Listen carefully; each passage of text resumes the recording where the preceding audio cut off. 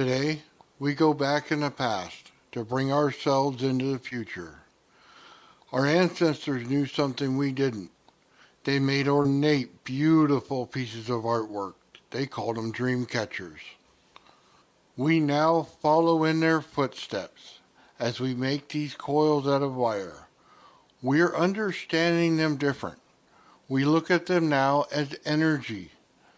Have we now awakened to our true calling? Energy, from our ancestors to us. It's time we understand this whole subject better. I, for one, can't wait. It's our future, and it's always belonged to us. Hello, everyone. I'm Nathan, otherwise known as the Old Man, Old Man Builds. We're here with Ian. We're also here with Benefactor TV, and we're talking about coils today. You guys gonna say hi? What's going on, everybody? Sorry, my stream just crashed, so I got to put it back up. Hey, how you doing? nice to meet you. Hello. Yeah, you too. So, Ian, we have your coil up on the uh, screen here right now. Can you just explain a little bit about what's going on with this one? Yeah, that's that's me going down a bit of a, a Gerald rabbit hole. Uh, I've um, just picked up from what he was saying about it. I mean, the, the, his presentation got cancelled so many times on APEC. I kind of thought, ah, well, how difficult can this be? so uh, anyway, so I so I gave it a shot, and when I started realizing that you you're using basically geometry, so you're starting off. I start off with triangles and uh, squares, um, pentagons, oct- octagons, and um, uh, so basically you start at one point and then just working around it, and you're moving forward by one each time, and that's what gives you the overall kind of shape. So how, you do how, it to so, so the basic premise that I'm trying to pick up from what I've heard Gerald and others talk about is is the differential is that the field pressure is different from from each side within each coil, and then I have to repeat this and do it the opposite sense on the top, um, so that you get up this this change of angles of where the energy has to flow it's kind of interacting with all the other different angles that, that are in there in a in a constructive way, hopefully, and uh, and then so that will then because it's going faster on the longer ends, but it's got more of a, a an abrupt angle to turn. Um, it's it's basically creating a differential pressure between the different layering, and so it's got a it's got a movement inside it. That's what I seem to think. Um, Jeremiah, I think, mentioned something. It was almost uh, like a there's a temporal thing going on at the center of it as well, and um, and I know definitely that, a temporal you know, thing going on the center. It got, yeah, so it's uh, so then you've got your your cold energy, zero point energy potentially in the center that is filling in to try and equalize the system, but it can't do it when it's running like this all the time. Then uh, you're getting that inflow of, of energy trying to equalize it. I think. But anyway, that's what I kind of took from it. Gotcha. So, yeah, it kind of yeah. looks like uh, Gerald's coil. One of them, anyway. He's I think he's stacked three in his. yeah, yeah. Um, it, well, it's not. This is this was just the first attempt, really, just to see to get a feel for how to wind things like this, and because uh, I'd never done it before, so so uh, yeah, you got to write down all the numbers, or you just get lost after this the, the third time around you got to number every post as well because uh, otherwise it's uh, yeah you get lost really quickly so oh it looks like it, it because uh, you could see the points where it's connecting and it's a long distance yeah. away yeah, yeah well it's uh, it, it's back it, it's back to the tri it's back to the triangular form at the top but um but essentially because it's a mix of ratios as well because if you've got um, um there's another picture that I find online. I think I sent to you was uh, it's kind of like a bunch of circles together, and it has all the points around it. And when you actually look at ratios in, in music, like sort of uh, three to three to two, which is Pythagorean fifths, and four to three, which is fourths, the perfect fourths, you you you can actually see the actual around the circumference, you see where they are in relation to each other, and that seems to be in, embedded in the coil as well, into the geometry because it has all the ratios. Well, if it had 60 nodes, then you would have all the ratios available, but it was 24. You have uh, you're you're limited to like five, I find so far, but um, but again, I haven't really looked very hard at that side of it just yet. I just Oh, thought okay. I'd see how this would turn out. So yeah. Hold on, let me pull it up real quick. But I'm dying to. I'm love. Would love to hear Gerald's take on it and what he's. I know he's keeping. Sorry, guys. for a period of time. I must have, uh, if I missed this, I'm sorry, but uh, uh, where did you get your inspiration for this design for the coil, Gerald. Gerald? Yeah. Nice. yeah. Well, well, I was listening. I've uh, well, I've been listening to. I've been fascinated by it since he first showed it, and I thought, oh, very interesting. And then, but he's he's discussed it enough in certain ways. that I kind of thought I've got a pretty good handle on what he's doing. So, um, so I thought, well, I'll give it a shot and just, um, know, I, I'll just spend a bit of time on it and see what I can come up with, and I'll be learning something along the way, and I might find different. Who knows? So, I'm I'm just working with that principle. So yeah, so that um that circular diagram there was basically uh, uh me a second, I'll put it shows you the ratios of of um I think it's uh, two to three, three to four, uh, one to two in the center, and so. It, but it, it's really nice the way it actually shows it almost like in a three dimensional format with, and how the geometry contains the energy, the bubble inside each one of it, and it grows and grows as as it uh, as the you increase the nodes. But I thought also if you can if you rotate the ones inside, and this implies a rhythm to me as well. And I often wondered, well, how do you get rhythm into coils? You know, I used to be a drummer many years ago, and uh, and I always know what music and rhythm feels and to to be part of, and uh, and it's um it's special. So it, there's when things are special, there's usually like harmony and music. It's special. There's usually a reason why it is the way it is. So you try to think, well, let's go for the most um, fundamental source that you can find in this, and that's a, so if you go go to Pythagorean fifths and just start at one, work your way up, but you're multiplying by three by and dividing by two for each, and each fifth. The reason why I think it's fundamental is because when you when you pluck a string on a on a on a uh, what do you call it, unichord, um, the, the next string to that vibrates at specifically three uh, um, three over two beside it, and that fifth then denotes the root note of the next chord structure above it. So, sympathetic response. and then you think, well, what what is what is what is uh what's vibrating, and what's the vibration reacting with? And you have to say it's not it's not just the air. If we live in an ether or an, an energy Mm. medium, it's vibrating within that medium as well, and it's causing the sympathetic vibration beside it, which is a very natural way to do this. And Right. um, so that's quite a uh, th- this um, this is uh, interesting, right? I went down this because the other another kind of very natural um, process, obviously, is DNA. And somebody wrote a paper on this back in the 1990s, I think it was. And what they did was that they they found all the resonant infrared points uh, within the four uh, molecules here of, of of the basic DNA structure, building blocks, and they brought it. They found that, that every number had a every point had a wave number, and then they transferred that into a frequency, and then divided it, Hmm. but you know, just uh, in octaves down until they got it into uh, the audible range and place them on the notes on the keyboard, right? So, so I thought, okay, but at this point, I'm working with Pythagorean fifths, and I realized that if you have 12 iterations of fifths, they go, they arrive seven octaves up, but it's not, it's not the same note as you would have if it's, if it's, uh, uh, it, it, if you multiply two to one, like everybody does, to go up octaves, octaves, and then you end up seven octaves up. But if you do that same iteration using Pythagorean fifths, three to two is not compatible with two to one mathematically. So you end up with a, a ninth note higher on the Pythagorean fifths, fifths that represent that same octave higher.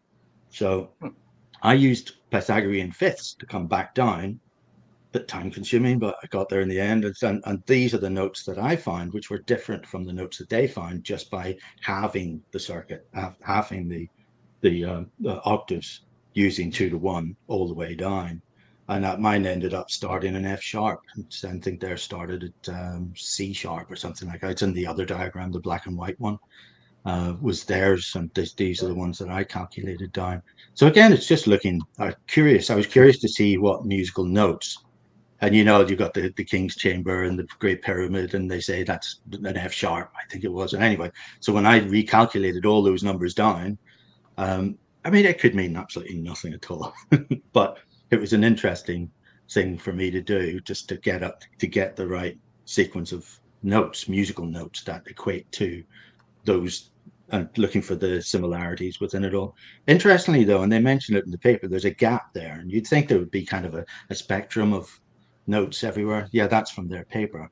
You see, it's uh, with uh, you've got about two thirds of the way up, you've got a gap with very little or nothing in it at all, and then it picks up again, and you've got a bit more. That same pattern shows obviously in mine, um, and uh, you just wonder what is that gap when you're looking at is it significant in any way? And I don't know, but it's just it was interesting to see it there. Yeah. Well, it's my opinion. But in terms of in terms of consider it. It's yeah, it's yeah. better to consider it than than uh, and not have it not be true than not consider it and have it be true, right? Yeah. Well, yeah. I mean, it's it's um, I, you know, I was I was curious because the Pythagorean fifth movement in octave seems to be the more correct way to do it but you do have what's called the Pythagorean comma. Uh, mm. That's there. I mean, everybody, different people have a different take on it, and mine may not be as correct as somebody else's, but it's um, it, it's it's it feels like it's it's more when you go up in octaves and it's not two to one. It feels it's an open system because you're not arriving at a precise point based on on purely on octaves of of two to one, and if you go up um, uh, if you go up in three to two, then you end up with a different note sequence. And they're all mod nine as well. Everything adds up to nine in that way as well, which is fascinating. So, um, right from a vortex math like, perspective, it is. Yeah. yeah, just I mean, just from I mean, just from a, the mod 9 perspective itself there's so much of it is written between the diameter of the moon how far it moves in, a, in an hour right. it's the same as its radius everything's kind of very very tied together ever since i read that book quadrivium there's so much information in that but you see that there's everything here and you get was written into it it was all in nines you know everything was a multiple of nine hey gerald what's going on gerald hello hello how are you hello gerald good good that's a gorgeous. I saw I know yeah, exactly. Well, it's not finished. It's not. It's not finished. That's half of it. I've got to put, put the ah. other half on top, but I got.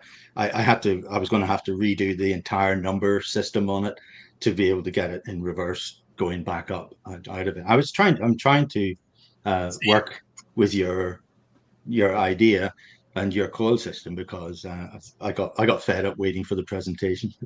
I apologize. You know what?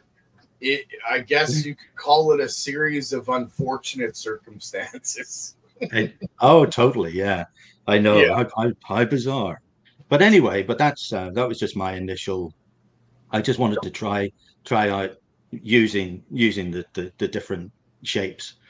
Uh, obviously, that's... the triangle, square, uh, exactly, hex, hex, hexagon, and then yeah. and then I went up to octagon. Uh, and then I didn't. I was thinking about doing a circle around the outside, and I thought, no, no let's, let's just. And I, I, just went back, and then I went back into the triangle. So, so it's kind of it opens and then closes, and then I was going to reverse it.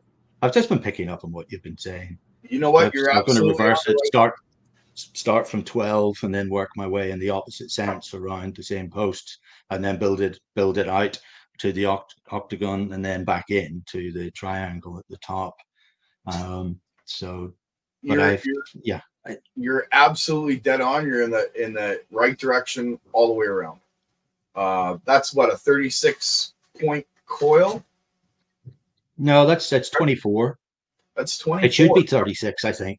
It should be, but I mean, when you're advancing it, um, I'm having to you know, either I think actually I retarded it by going one less to move the shape in a clockwise pattern, but but it kind of it's moving counterclockwise.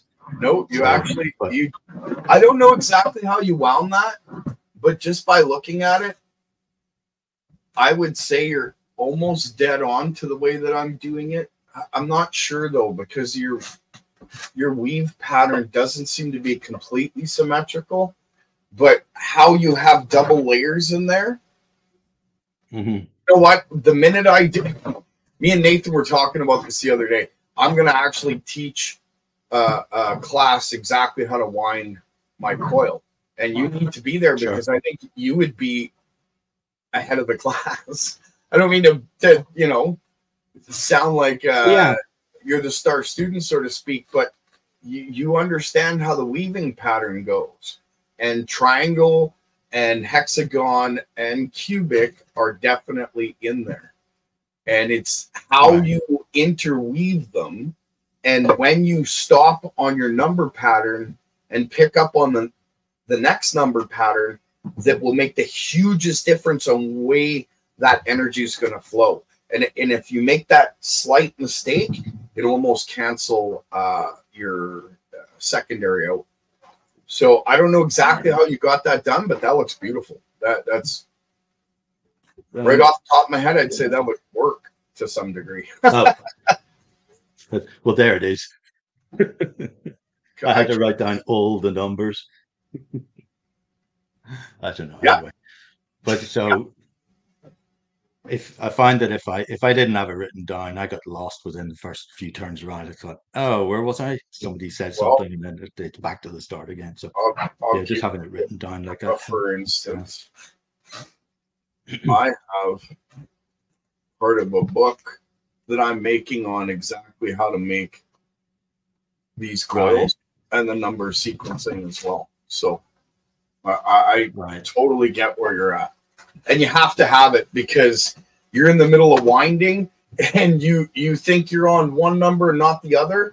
You won't realize until you got three wraps around and you're like oh okay that geometrical form is done and you have to unwind it if you even can and then start from that point. So yeah. Yeah. Yeah. You're, oh yeah.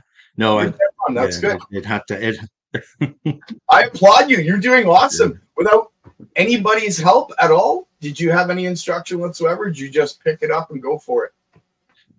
No, no. I, I listened to what Jeremiah said um, in terms of the principle behind it, and yeah. he basically described it fairly, fairly succinctly what it really was doing and and how the and when I when I, I just 3D printed the the uh, the initial kind of uh, former for it with the posts, yeah. and then just thought, well, and it, it just became quite obvious that there was a way to do this to make it sequential going around it and then changing the shape. And once you get to the natural finish of that one, you then start the next geomet ge- the next set of geometry. You get yeah. to the starting point of that, having gone all the way around it.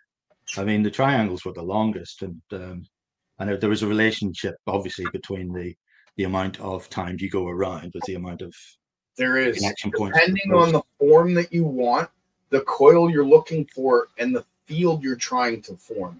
Because every coil that you make will will form a different shape of, of magnetic field and it will mm-hmm. increase or decrease your electrostatic field depending on the pinch of the coil, the form of the coil, how many layers you have. Is it uh, uh, like a set of stairs? Does it work like scales? There's there's a few things that are, are involved, but you're you're for just picking it yeah. up and listening. Hey man, hats off. that's that's good job. yeah, but I also yeah. I also saw I also saw that it has um with with with ratios in it because I mean all all the different the geometries have different ratios to their inner angles as well. But also it um there's a there's a rhythm in there as well There which, is, which is kind of which was um interesting. That was noticeable when i was kind of doing it. And i've always wondered how to include rhythm in a coil because it has a direction has a, so and then all these different nodal points will, absolutely. will strike different things at different times. Yeah it's interesting. Yeah.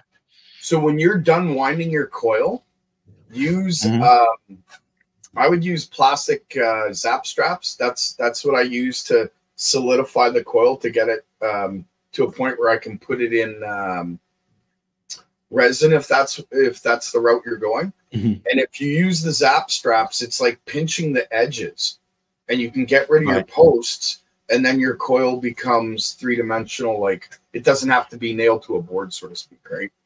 Yeah, yeah, no, I, I, saw that from yours. You're using cable ties, right? Is that what you called? Yep, they're cable yep. ties. Yeah, cable ties, zap straps, kind of a different name for the yeah. same thing. Yeah. There you go. Yeah, and then yeah, I've, so, I've, got that, so I can actually insert those around and then just wrap them and pull them tight to, to tighten up the, the outside edges of it. Yeah. So yeah. now that you're building these coils and you you get the fact that there's a rhythm, there's actually like I built about 175 different kinds, and the sequencing of where you put your triangles, your cubes, your hexagons, it matters in comparison to what you're trying to achieve. So if you're trying to achieve, say, uh, a PEMF system for healing, uh, mm-hmm. I would put in certain. I, I don't want to say it just outright because we're going to show how to do this in detail, right? So it's like giving it away, but at the same time, I'm not charging for it. I'm still giving it away. But we talked about doing a structured class on teaching this. But there is a, a sequence that can give you, I wouldn't say free energy or over unity. I'll say real efficient system. Okay. Right. And and right. then there's another sequence that would help you get lift. And and then the same uh, form, but a uh, less windings on certain wraps will give you a really good PEMF system for pulse electromagnetic frequency healing. So okay. when you start building different coils mm-hmm. and testing them, you're gonna see how they kind of come together. But a word of warning: um, until you get to the level where you've done a bunch of testing on smaller coils, I I personally wouldn't go over 18 inches. Just just until you get to the level where it's you understand how the fields are going to be pushed out, how they're compressed, how they're pinched, because if you go a little further than that, uh, your outcomes are different. There's there because you can scale this up, right? But mm-hmm. your anomalies get a little bit more intense as the coils get larger, and then your uh, efficiency for putting out energy is a little different. It works differently. I, I, I, it's hard to explain without giving away the golden goose right? But I mean, we're gonna give it away in a very near near future uh, uh, video series. I'm actually gonna do my presentation on Old Man Builds and Bernie's uh, Friday night free energy. I, am not waiting for APEC anymore. So okay.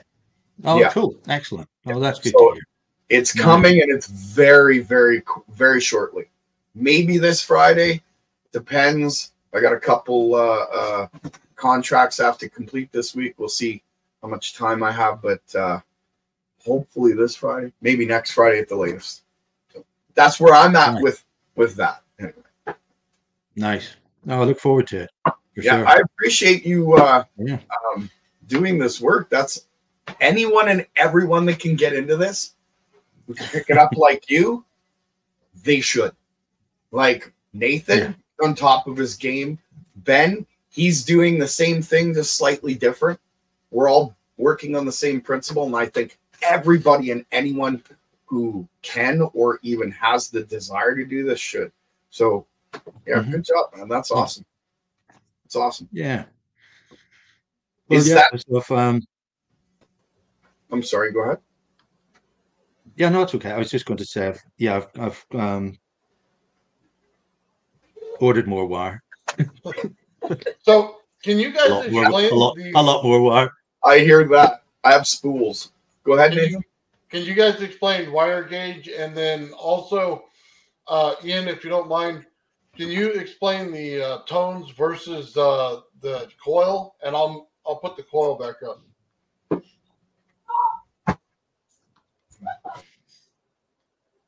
You guys hear me? Uh, are you talking? Are you you mean the, the ratios of the What's angles? the wire gauge you guys are using to wind your coils? Uh, oh, the wire. then- Did you want to go ahead first, I- or do you want me to go ahead? You go ahead. You want me to go ahead? You're doing it right. Okay. So, so the the coil that you see that's 12 inches with the pickup coils around it, that's 22 gauge. Both uh, the primary and the secondary are 22 gauge. On one of the previous lives, I had said they were two different gauges, but I had looked into my notes and I was wrong. I apologize. You know, don't hang me for it. but they're both the same gauge on the primary and the secondary. And I don't know. I've worked with quite a few different gauges from 32 all the way to 16, and your power ratios change. Again, it, it comes down to what you're trying to do with what coil you're building. So for me, uh, between 20 and I don't know, I like to use between 20 and, and 26 gauge give or take. I don't know what you're using for your coil though. I had I had um, some 28 gauge. Yeah. And so I was using the 28 gauge just to start with, and but I have I've got a couple of big spools of 22, so that's good to know as well. But I was doing it on a, you know, I was having trouble getting the posts. Some some of them kept breaking off and things like that. So eventually, I just kind of thought, well, I'll use I'll use a thinner gauge wire, and then it should be able to hold and not put as much pressure on the posts as it gets higher. So, yeah. When, I- when So, I and, and again, I wasn't even sure because because you know I didn't want to damage the wire by making the posts you know V V shaped.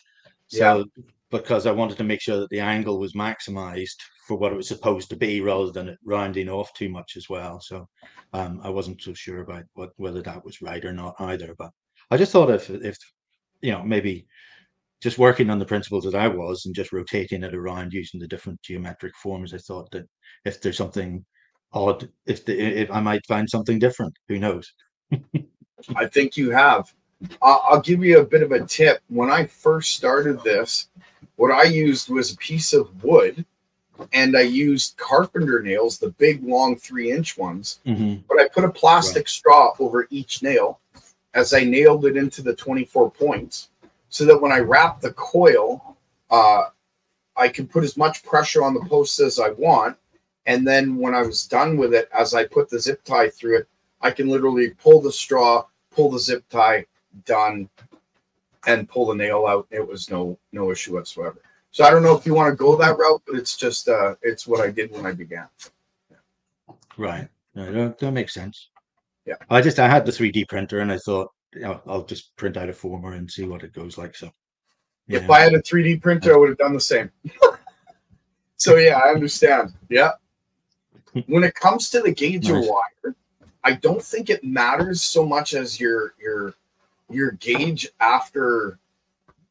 Oh, I, I you know what? Between 32 and 20 really doesn't make a difference. It doesn't matter if you're running high voltage or high current because of the way that the geometrical forms allow the energy to flow in the system it's almost Mhm. like once it's flowing, the uh, uh, toroid shape of the coil itself acts as the full current where the current's running. I'm not sure if I'm explaining that properly. As that energy is flowing geometrically, the toroid itself becomes one. So it's like Right. instead of having all these individual wires and layers, they all become one magnetic tube and at different Gotcha. frequencies it does different things so and and you have the differential pressure from across the cent from the top to the bottom, and that Yeah. gives you your polarity and your you've got your your equatorial plane is right through the center, I presume, horizontally. absolutely and and different Right. forms and different sequen- uh, sorry sequences will push that field out further from your sides Mhm. or cancel it out altogether and focus it strictly in the center depending on what you're trying to do these geometrical coils are they're the key to a lot of different tech Sure. have yeah, you started pulsing it yet or are you in the process of still winding No, it's still winding. I've done half of it in terms of what I wanted to do, and now, now I've got to go 180 degrees and then start from the other direction. Uh, I'm I'm assuming that's the horseshoe point of of where the whereas one coil is overlaid on top of the other. So I've got a, I've got the first. I've, I think what I've done is built what I thought was the first coil, going yeah. through, going out, and then back in again, and then I'm going to reverse just basically turn it 180 degrees. So I'm starting on 12 instead of 24, and then I'm I'm going in the opposite direction to to be the same as the the horseshoe thing. So you've got an open system in the center, but then one coil, and you still have the ability to join one coil to the other externally if you wanted to, because the wires are all there.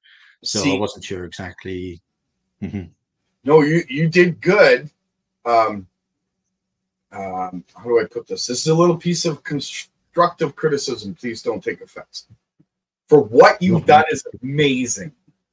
And this is why I think when me and Nathan were discussing about teaching a class on this, uh, it it I kind of have to teach certain points specifically. And what you did for the 180, I get it. That's what most people actually do, but that's not how I base. There's a very specific principle that I kind of kept close to my chest on this one, but it's the way that you wind the coil. When you wind, say, one form, uh, let's say a triangle, and you're winding it uh, clockwise. So you get your form done, then you wind 180 degrees out of phase counterclockwise, that same form. Then you switch your next layer. Oh, okay. Okay. So that's that gives you the ability to layer and and and capture the skin effect in between each layer as they're crossing. Gotcha. Oh, okay. Interesting. Yeah. Yeah. That makes sense. It, like I said, it's nice. something I've kind of kept close to chest and not told too many people about because there's people out there that are trying to, um, let's just say, obtain this nefariously. just yeah, ever since like ever since I got into any of this, that, that word nefarious is pretty common. Yeah, yeah, you understand. yeah. Oh yeah. Totally. Yeah. Yeah. Well, it, no, it no, goes against regular physics in a sense. So academia doesn't like what you, sorry what you're doing is fantastic i think so it's just great and it's great that you're sharing it as well for so many people to keep it close to them and die with it usually but it was case, given freely to me so i want to give it freely to everybody else but at the same time I, have protected myself. When i first started this journey i was uh, trying to get it open source really quick and give it to everyone right? And uh, I still want to do that, but there's a certain way of doing it so that, like you said, there's nefarious people in the background. So, you know, you, you got to have safeties in play once you start to see certain anomalies with these coils. I have three dead man switches, and they're set up in three different medias, three different forms. So if anything stupid happens to me, I'd never commit suicide in a million years. My beliefs wouldn't, I couldn't do it, right? So that being said, um, uh, you still have to protect yourself in a sense because we're dealing with technologies that uh, have been found before.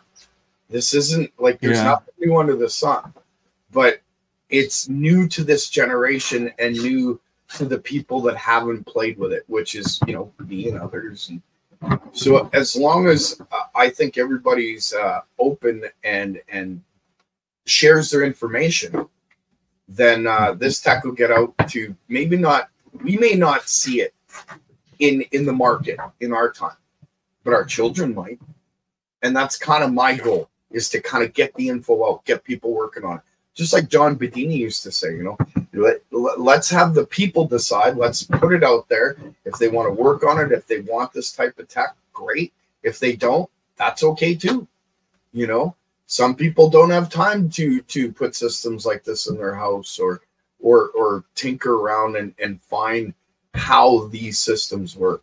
Some people would rather just pay a bill. That's okay too. Mm-hmm. you know what I mean? So on a, oh, for sure. On a practical note, though, if you, um, I I was looking into.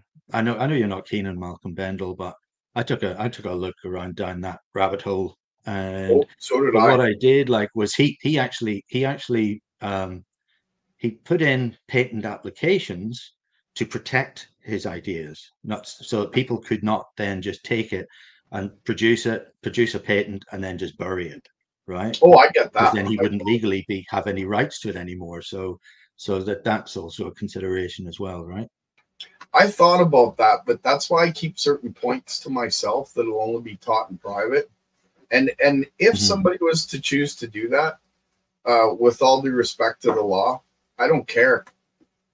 I mm-hmm. created a lot of the things that came to bring this tech together. It's not my tech, but at the same time, I did 15 years of work on it, and I don't care what law says what. You're not going to stop me from sharing this information. You could take me to court. I don't own anything. So what are you going to mm-hmm. take from? You know, blood from a stone? Good luck. I know it's kind of a bad attitude, and I, and I apologize to everybody out there listening, but uh, I'm I'm not in it to win it. I'm not in it for the money. I'm not. I'm in it to just share the truth that I know, and uh, you can take right. it for what it is, right? And when it comes to patents, I kind of view the patent office as a legal thievery, right? Because if I put my system in into the patent office and they decide, oh, well, this is a really good system and I want it, they're just going to take it and shelve it and then nobody sees it. Mm-hmm. For others, mm-hmm. I understand go that route. If you have the money to fight big corporations and 20 lawyers at a time, then go for it. I personally don't want yeah. the battle. I'm just going to share the information as knowledge and I hope that if uh, it turns into something for everybody that they for me i like it like this. If i was to teach one person under the obligation i would only teach that person if they taught two people. And the two people that they taught have to each teach two people and so on and so on and so on. And that's how i kind of think that we should be getting this tech out. I agree with, uh, in a sense, the way that Malcolm Bendall is expressing it, because he patented it to protect it. But I did a deep study into Malcolm Bendall as well. Awesome tech. Unfortunately, mm-hmm. it was created 40 years prior by a man by the name of Paul Pantone. And he didn't share his tech.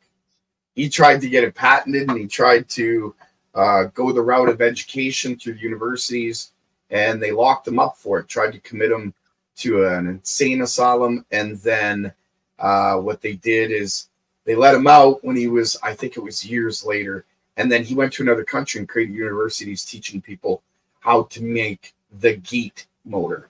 And Malcolm Bendall's system is essentially the Geet motor with an external reactor, whereas Paul Pantone's system has an internal reactor. They're the same system. So, I mean, I applaud Malcolm Bendall for doing the work that he did. And the fact that he's put it into ships and cars and trucks, hey, man, hats off to the guy. But I think it was somebody else's tech that got embellished on. That's my opinion. Yeah. If I'm wrong, hey, prove me wrong. I'll admit that I'm wrong and I'll apologize. That's I have no problem being wrong.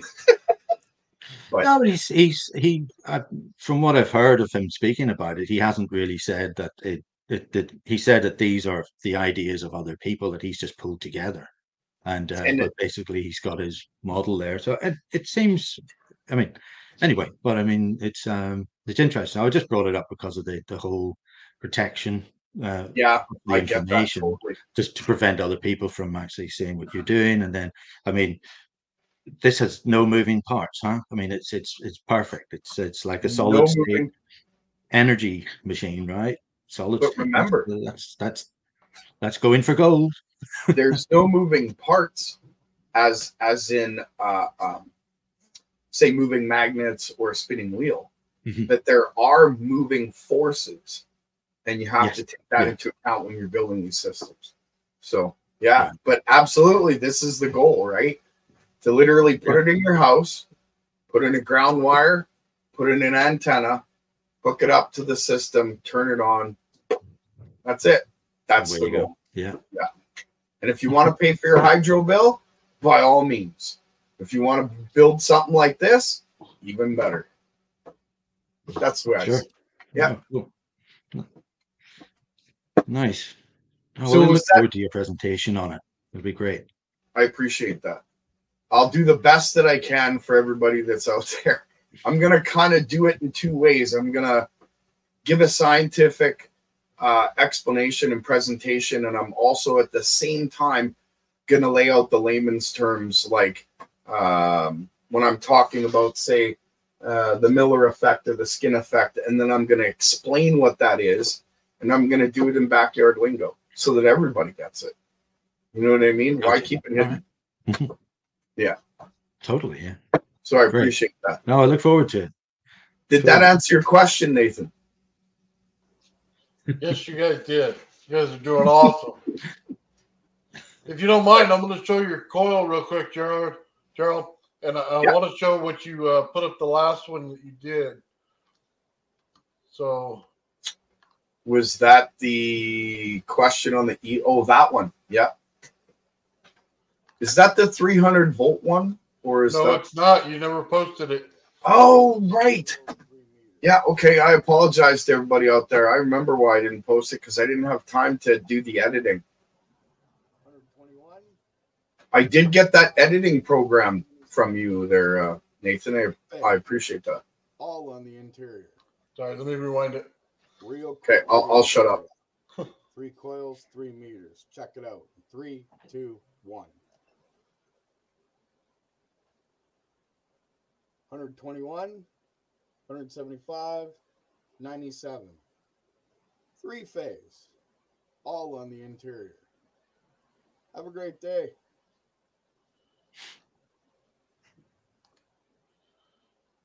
All right, Gerald, you want to explain what's going on here? No, I'm just kidding. I'm kidding. I'm kidding. I'm kidding. That's not right. Gotta have fun. Life's short, right? Okay, so you want me to start from the beginning as to uh, what I'm doing here with the circuit and how this is working, or just uh, Just okay? you- So yeah, go ahead. Whatever you're doing, the setup of it, and then into how you got the numbers. okay, so normally these uh, coils that are sitting on the like these pickup coils that are sitting on the inside core of the vortex coil, they're wrapped the 120 winds. They're ferrite cores. Usually they're perfectly 120 degrees uh, apart from each other, but one of them fell and I just quickly pushed it into the camera's view. So that's why you see how it's off. But when they're 120 degrees apart, the uh, voltages balance a little better. So they're not so uh, different. Uh, that being said, the circuit that I'm running this on is a horizontal deflection transistor out of a 28 inch tube TV. I believe it's a C20, it's a C2558, I believe. And it has a 12 volt battery for a power supply. I'm pulsing it with a function generator on the primary only. And so once it, um, yeah, so once I pulse it on the primary, the secondary, the two wires that come off there are just going to a hairpin circuit without a load. So it's basically like a spark gap, and then it's got two capacitors, but I didn't complete the circuit. I just left it as it was. So then, uh, using the horizontal deflection transistor, because it has such a very fast rise time and a very fast uh, fall time, I'm able to get these voltages. And the faster I can pulse the system, the higher the voltages go. So that's how that particularly works there. What you're seeing is um, me pulsing the primary and the secondary the field builds up in it, and when it collapses, creates a spark, shoots back in, pushes into the primary, creating a current, kind of like a wave, right? And that's how you're seeing those voltages. And there's a different voltage set that you can get on the outside of the coil.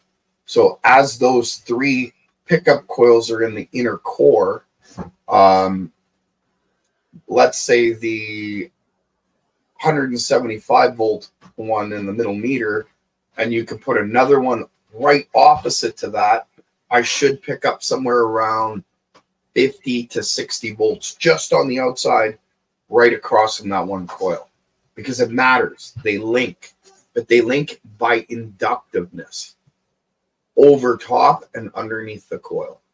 So it's kind of unique how it creates a vortex. And then ferrite picks it up so easily. So that's what's going on. Did that answer the question? Absolutely. How about you, Ian?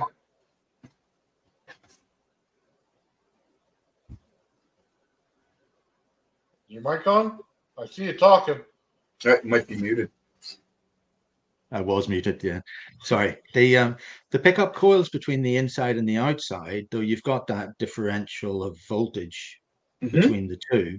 So does that does that actually does it actually create a current through the wire coming from the inside coils pickups? Yes, towards does. towards where they're going.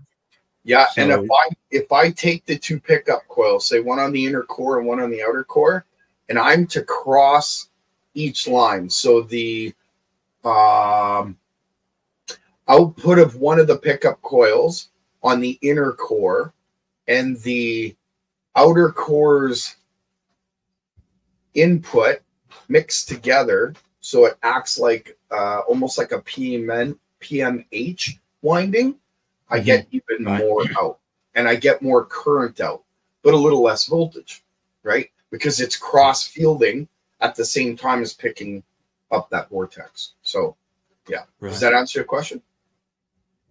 Yeah, yeah. Perfect. So, and is it is it is it cold? Is the temperature is different in the center to the outside? Yes, it is actually. Uh, it depends on what I'm doing. I can make just the center hot and the outside a cooler temperature, or I can reverse that and make the inside cooler and the outside hot. I have, I wouldn't say complete control, but I have a lot of control when it comes to that. And that has to do with the pitching of that magnetic field and controlling it. Yeah. Hmm. Any other questions on this one? You know what? Just if you don't mind, if it's possible, how many layers do you have in your coil? Oh, you know what? I didn't count it by layers because this one, this well, one, like in in like each coil as one layer. So is there three different oh. coils in there, or is it two, or is it just one it's, round coil? It's uh, how do I explain this? Let me just think about this for a second. How to explain this so it's understandable. It's two coils, but it's not two coils until you wrap the whole thing because it's wrapped on one wire. And then it's cut in a specific part making it two coils. Does that make sense? That's why I kind of have to teach how it works, right? Like because it's not an easy answer. It's uh it's a because of the way that I wound it, right? Uh-huh. Let's just say I was inspired to wind it this way. It's all one wire, but it's cut in the middle in a certain way where it makes two coils. Gotcha. Oh, wow. you could what was, what was your what was your inspiration for doing this in the first place? What what what brought you to this? This kind uh, honestly, uh, it started with uh, the Joule Thief, John Bedini's schoolgirl circuit.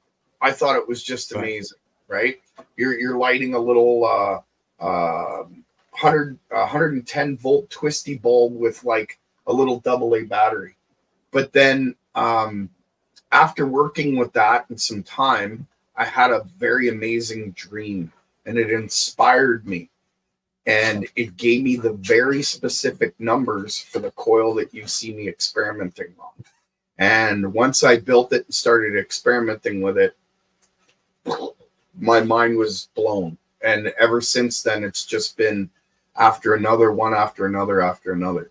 So I started winding them. And like I said, now I'm at, I'm actually not at 175. I'm at 178 because I just built three new coils that haven't been seen before. And I'm going to display them shortly, probably on the presentation. But um, anyone could build them once, like you've seen, once you have that principle down, it's it's just like flowing, right? right. Yeah. Very cool. Nice. Yeah. Was there? Yeah, this is uh, actually kind of a something you could look at if you were uh, about to start winding coils. Dream catchers have a very unique way of winding.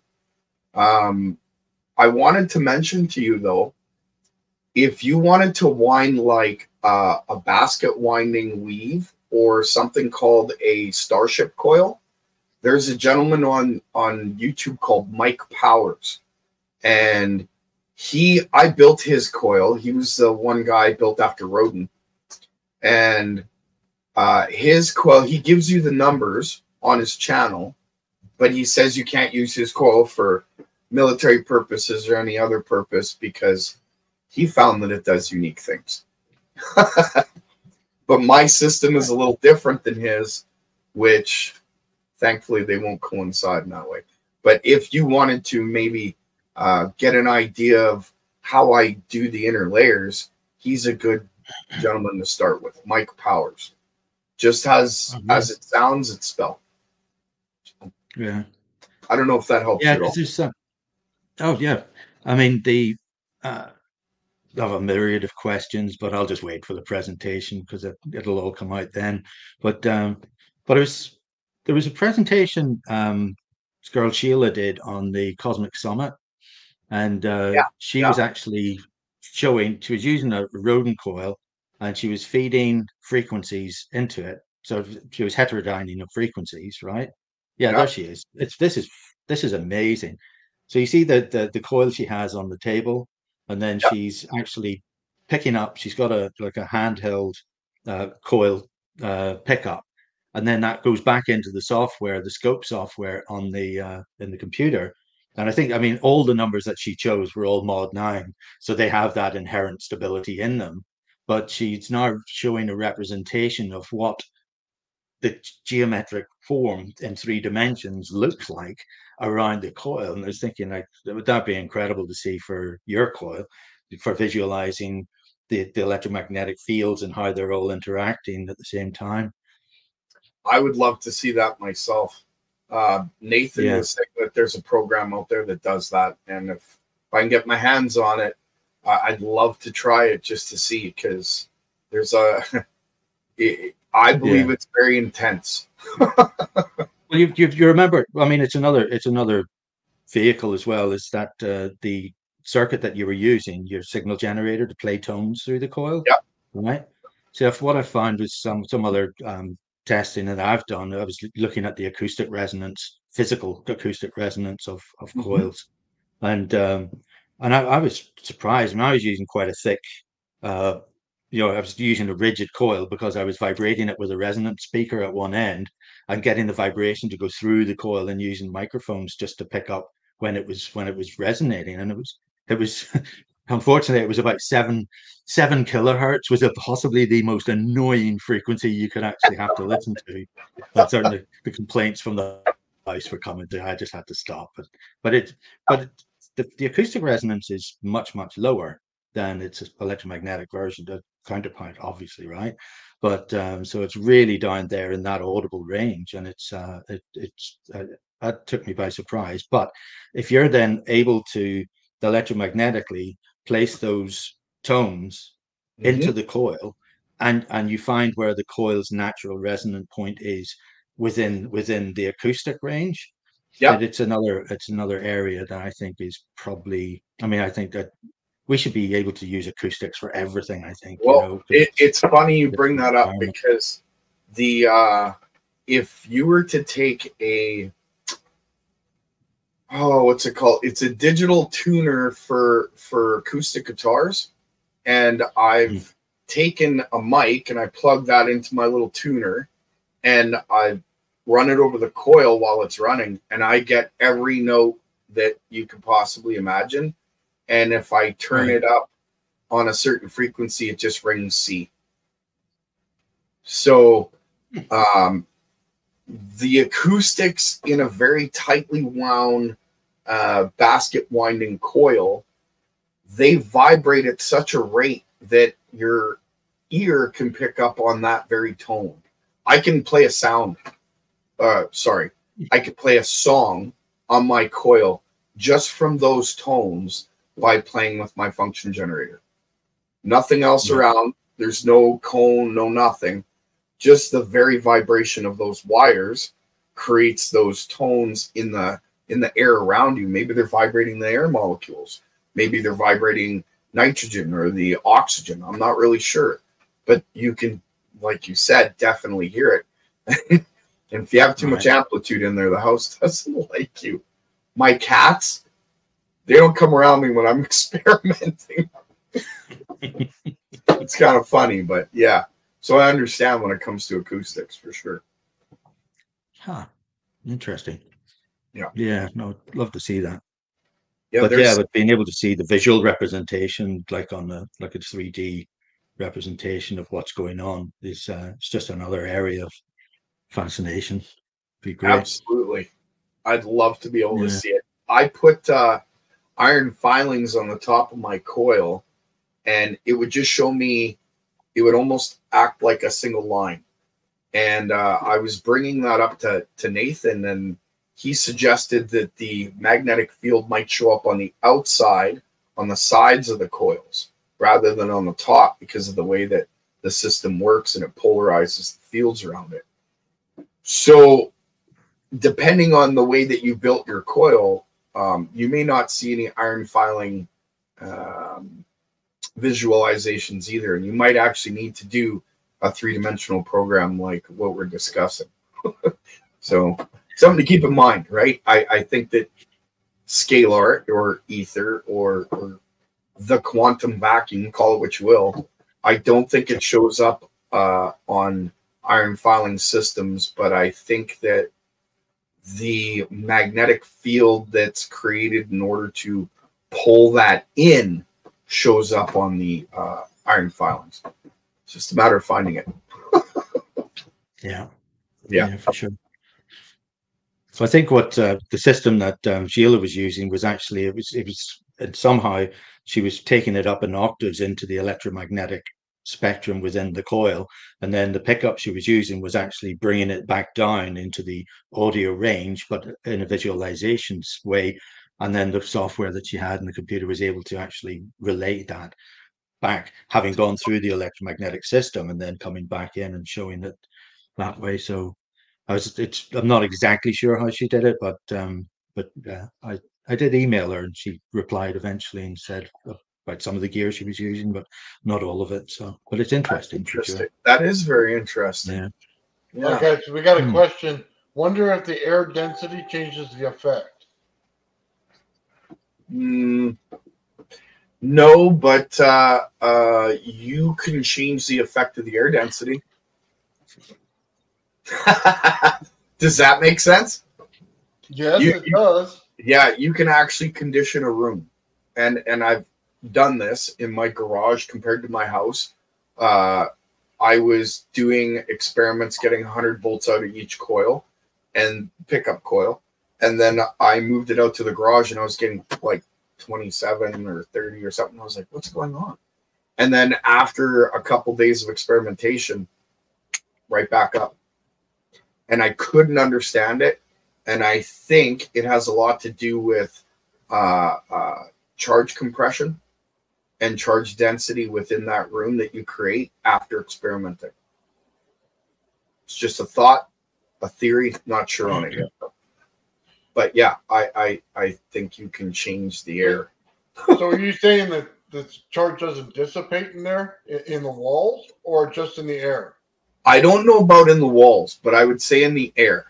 Like when you're creating uh, an electrostatic field such as this with a magnetic component in it, in order for, okay, I'll give you an example.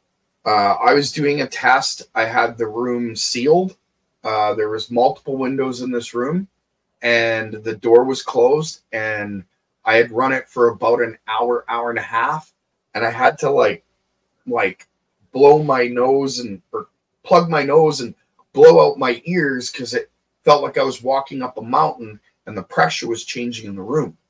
So I shut the coil off, but the pressure was still there until I blew off a capacitor that was linked in the system. Because that implosion quick snap went off, it was like the bubble burst and the air pressure was normal after that. So I don't know if that helps you at all, but when it comes to charge, I believe that an implosive effect like the blowing off of a capacitor, like shorting it out, uh, it pulls all the energy in, and I don't know where it goes. It dissipates it. Maybe the the sound dissipates the energy that gets pulled in from the implosive effect. I'm not sure, but uh, in my experience, that's what needs to be done when when you change the pressure in the room. So you actually created like a field bubble in there that contained what you were doing until you uh, let the energy spark, and then boom, the bubble yep. was gone. Yeah, and I have uh, witnesses to that who will uh, testify in a court of law any day of the week for it. So yeah, yeah, it was crazy. I, I, didn't, I didn't, I had no idea that was going to occur. Uh, otherwise, I would have kept the window open. but uh, it was a good thing I didn't because then it showed me that you know, these systems aren't. Uh, they're not closed systems in the sense that we would think what a normal transformer is, right? There's lots of anomalies that surround these vortex systems, especially ones that are uh, vortex in in 180 degrees out of phase and and still working. There's a lot to, yeah. to map out on them. I've been working on them for about 15 years and I'm barely scratching the surface, right? There could be a thousand of us working on this, and I don't think we'd complete the work. That's how intense it is. So, we have a question from the chat, real quick. Uh, what is the max or minimum of the device? Uh, I'll be honest, I don't know that yet. The last large test that I did, I used one sec. I'll show you what I used. I think uh, um, what you were describing before, as you said, is kind of based on the load as well. That was my load. Okay. Just a, a 900 watt electric element. And it's a heating plate? Yep. It's a heating plate. So I used that as my load, and the coil got really cold, and I have a oh, where is it? Big neodymium magnet. I don't know if you could see that. It's two inches in diameter. There's Ooh, two. That's a big sucker. Yeah, there's two of them locked together. So that big oh, coil oh, that you that you see, um, I had turned the 900 watt element on, and I had put the magnet in the center of the open core and it sucked it up, held it, like levitated it, and then I could tap it with my finger and it would roll around the inside. I did a video on it and I called it levitation, uh, magnetic levitation. And it just, it spun, right? And that was from the load that I was using. And it didn't go red hot uh, I would say it got to about 65, 75% of its heat. And I was watching it with my infrared camera. So I have that recorded, but I never did a video to show it. So right, we were discussing it was it was exhibiting properties of being a superconductor without having to be super cooled like a superconductor. Yeah, and the coil itself was cold. Like you could touch the coil, it should have been hot. I'm using 900 watts on 20 gauge wire. should have melted the circuit. No. Right. That's cold electricity. Yeah. So well, as we suspect. Yeah, as exactly. It still has to be extensively tested by multiple other people. Right now, mm-hmm. it's it's just me presenting it. Uh, this yeah. is really cool system, Gerald. Uh, I really love your work with the coils. Thank you. So yeah. this one said repulsion, Gerald. Let me. Uh, there's another one too. Yeah, the repulsion one. I show it throwing the neodymium around, right? Um, there's another part where I put it under the coil and it actually shoots it out of frame, I believe. Did you need to?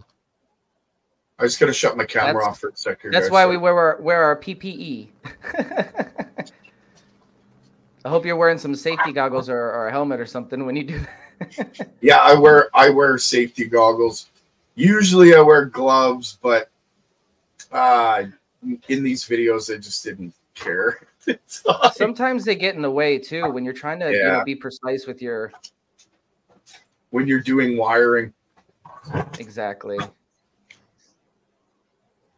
Okay. Sorry guys, my uh oh that's cool. Washer and dryer downstairs and my daughter's doing laundry. So oh, you're good. Oh, hold on, that thing just levitated. Mm-hmm. Give me a second. Yeah, oh, yeah, that's cool. And that will only happen with a load. Wow. Oh, that's so cool. Hmm. Yeah. so you basically you've got a that toroidal field that's surrounding the coil, basically, right? As you said, it turns into one field around the whole thing. I remember yeah. uh, reading years ago Harold Aspden, who was a he was a British professor at Cambridge, I think, and he did some experiments where he rotated uh, Leyden jars. This is back in like the 40s or 50s, I think, and uh, and he found that after he had been rotating it for a period of time, it would be easier to start up the next time as if there was a continuous fluid mo- moment. So if you're spinning the ether, let's say, or zero point, whatever you want to call it, if you're creating a, a movement, it actually has inertia, it seems, or potentially has inertia in it that actually keeps it there after you've stopped. You know, and maybe that's why your coil, your coil was still active, because uh, you know if, if it is if it is like a superfluid of, of sorts, then and it has inertia and it has movement, then yeah. In and if we also consider the activity, wasn't it five minutes after you'd stopped? Sorry, say that again. You're, you're, you're, I remember you showed a video once of your coil that when you stopped running it, it was still showing infrared activity about five oh, minutes yeah. after you shut it down. Yeah, and it wasn't, and that's the funny part. It wasn't heat. You could grab the coil, mm. and the temperature on the gauge of that camera showed that it was room temperature. But yet, I'm seeing on the infrared camera the full coil, and as if it was not hot, but as if there was energy flowing through it. So yeah, yeah, that's right. Uh, mm-hmm. If we also consider EVOs as well, uh, EVOs have the tendency to stick around a little bit after you know, and uh, they also have the tendency to steal the heat, you know, steal the heat around them. So that might be uh, able to account for cold electricity. I'm not sure, but. Well, I give a tip of the hat to Nathan on that one because uh, I never considered temperature to be any sort of uh, factor whatsoever, but it is. Right, right. Excuse me for one sec, guys. Sorry to break up the conversation. I got to just deal with something really quick. Okay, yeah. so I apologize. Excuse me for a moment. My gravity flyer gets the same thing. It's like 70 something degrees, you know what I mean, on the center plate. And then, but you touch it and it burns your finger. It's the same wow. thing he's doing. Yeah, it's cold electricity. Well, it might be cold electricity. Yeah, Gerald's getting more of a vortex though. He's getting that energy to flow in in that direction. Right, he's condensing it into a point. Yeah, it's the way that coil's built that's doing it. We're, we're all kind of getting a little bit. You know what I mean? Mm-hmm. He's getting the full effect with that thing. Right. No, that so, makes sense. The closer you get to that that uh, that field geometry, you know, the natural geometry of the universe and uh, free energy flowing, the toroid shape. Natural geometry of the universe. I believe that one hundred thousand percent. Oh it's, yeah, the, the theory that our universe is shaped like a torus and we're on the south pole expanding. We can't see the uh, implosion side and the top. Yeah, it's it's fascinating. Can you see this here? It's yeah. I was a, wondering what that was. This is how uh, the visual that I get from my coil when it's working, when it's running. So it it's like I pinch the fields mm. and I split the energy so there's charge separation. You got your wow. north blue ball, your red for uh, yourself for red ball, and they're chasing each other. Right wow. as the vortex comes down, you have to have two points of energy that it's chasing. So it's like chasing each other in the center of the core, and then on the outside, it's pushing that energy out because of the way that it's pinched.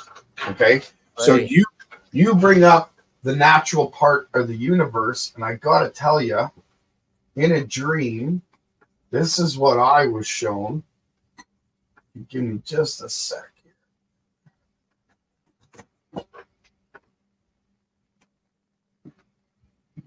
So it's like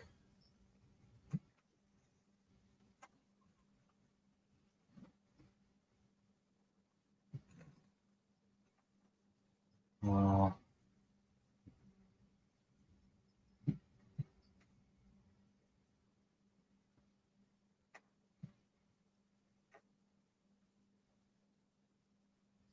Okay. I know it's crazy drawing. I'm trying to do it quick and I, I can't do it justice.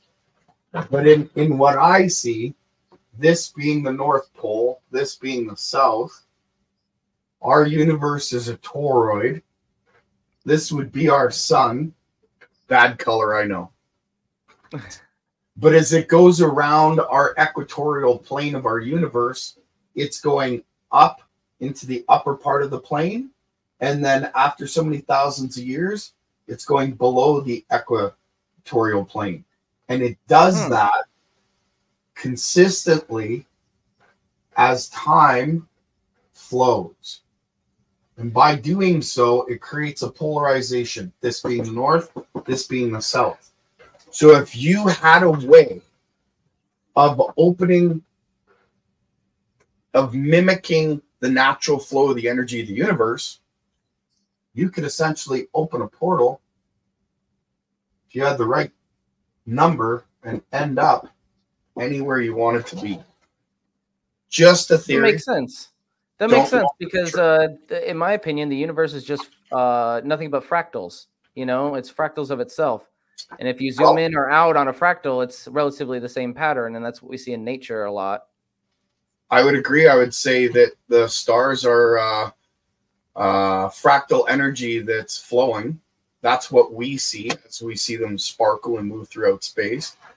Uh, I think they're definitely held in space. I believe that planets all have their their positions, but I think they're positioned due to the external magnetic fields of each other, each planet that's in sequence or close by. Just like as if you were to hold two magnets close together, but they're in opposite poles. They push off each other. They're not going to slam together. They they keep a certain distance. Well, if you had all that in a circle, you could actually keep certain magnets at, at a distance, right? So it's just a thought, just a theory, something to, you know, think about. It makes sense you know like if uh if we see you know magnetism and particles and then you know like actual uh, uh material that we can see and then we zoom out on that scale and a larger scale it's not unreasonable to believe that a universe would have a polarization as well. And i can be totally wrong. Like i said i've been wrong before. Prove me wrong. Hey i'll admit it. So yeah, that's there's my. Also, there's also there's also there's also the consideration that uh, apparently it's become sort of academic fact that the the universe is 99.9% plasma of different types of different temperatures and different everything and and it's like mass and matter are almost like a little accident that happened out of the plasma and plasma right. forms its own dust and it's uh, it's it's interesting because it goes on about. Um, it's a book I read recently by Robert Temple. It's called it, uh, a New Science of Heaven. I think it's called, it's yeah. really fascinating because it's work is based on academic research, not not just his kind of theory, but it's it's uh, it was all to do with the Kordylewski clouds being that there's there are two of them, but they're nine times the size of the Earth, and they're between yeah. us and the Moon, and they have every property that would actually allow them to be intelligent in organic forms. So, and they've been around billions of years longer than us. So maybe we're just an experiment of theirs. Hmm. I get wow. that. Uh, and I totally understand. I read maybe two academic papers a day, depending on the subject, but I only have half faith in academia. When they canceled the ether and started mm-hmm. calling it the quantum vacuum, uh, I kind of lost faith in the fact that when they predict new things, there's half of the equation missing already. So, how could they be dead on? How could they be absolutely accurate when they negate half of all energy equations? And and hey, don't get me wrong, I give them kudos. There's a lot of people that put a lot of life stock into their research but uh, I think they unfortunately took a misstep somewhere along the way. Need to pull it back and have a good look at it. it's oh, totally. I, I, I, totally agree. It was just that Temple's book was actually he was pulling data from people like Bostick and you know the oh, people oh, yeah. who really did the foundational work. Yeah. Plenty and also via biophotonics as well all well, those well, things that have been really suppressed over the years. But he mm. he did incredible research into it and actually brought all these other papers forward, and basically as a record for the information that should be freely available. But he's had to search hard for it. So it's really was, it's fascinating. What was the name of the the author? It's called a new uh, uh, Robert Temple. Yep. And uh, it's uh, a new a new science of heaven is the name of the book. Perfect. Actually... I'll have to look into that. Maybe I'll order it. I'm always looking to expand my awareness by far. yeah. So it, it, I'll read the book, and and you know what? If uh, I overstepped my opinion, then I'll apologize. you know what I mean? So yeah, you give me something. I know. Thank you. Yes. Yeah. No, i am totally with you. I understand exactly what you're saying. Cool. You know, there's there's a there's a lot missing out there, really. Well, I don't. I don't think it's for lack of of uh, wanting to research it. It's just unfortunate that in academia they get pushed down certain paths because that's where the funding is. It's no longer mm-hmm. about the search for truth by using science, and I mean science through experimentation, because really that's what true science is. It's not writing a theory and calling it whatever you want to call it give me something that you built give me something to back that up show me something that you're doing that physically can can show your effects that you're talking about and unfortunately with the academic community. I haven't seen that. And with multiple different universities they have embellished on some of the research. But there there is a lot of people out there that give their heart and soul into their work. It's just i think they're looking in the wrong direction. And i think if they we're able to get funding for what we're working on, we'd be leaps and bounds ahead of where we are today. So Absolutely. I don't I don't spit on all. I think there's a lot of geniuses out there. They're just unfortunately controlled geniuses. we also have a few uh, very stubborn people who refuse to just acknowledge new science like the ether at all. You know, uh, they're just too indoctrinated and they're uh, too far gone to be, you know, even dealt with, in my opinion. Well, well it's kind of it's kind of hard if you've if you've based your entire career researching specific things in specific ways, and then somebody tells you, uh, actually, that's not the way it works. Right, it shocks there's the fundamentals of, of your a, whole. There's a there's a lot of there's a lot of reluctance in there to change your mind when you've spent yeah. your entire work life's work is based on uh, you know, on something that may may not have been as correct as you thought it was, right? So yeah, I, I, understand right. that as well. So you get a lot of intransigence because people people don't want to think out of the box when it's upsetting their apple cart, you know. So yeah, exactly. I mean, which is, which is which is just human. That's just human nature as well, you know. But the yep. funding is the big that's that's the big thing. Nobody can do research into what they would really love to do because they find an anomaly. They go, "Oh, I should look down there." I mean, that's what science is supposed to do. But mm-hmm. if they can't get funding for that project, then they have to look elsewhere, and they they they need their tenureships. They need to keep feeding their families like everybody else. Yeah. So so they're they're they're kind of stuck in a hard place, really. So yeah, uh, I harp on abilities. It's it's just through lack Sorry. of opportunity, really. Yeah, it doesn't it doesn't pave the way for out of the box thinking. The system, you know, it's it's kind of stomps it out in, in every every aspect.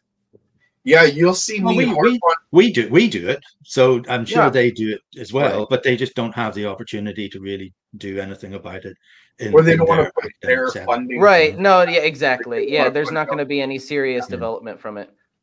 Like you'll see me harp on academia, but I won't harp on individuals doing work in academia because they're doing what they believe is right.